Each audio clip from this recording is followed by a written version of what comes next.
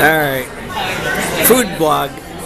We're in Arnaud's. Oh, they're having fun in the in the carriage behind you. They're getting kooky out there, man. So what's with the food blog? So we went to the wine bar, talked to Donald. Exactly. Donald was cool. Like Donald had dinner with Jimmy Carter one night.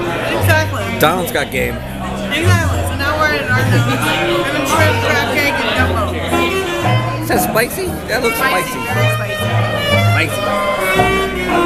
Gumbo kicks ass. Jazz band.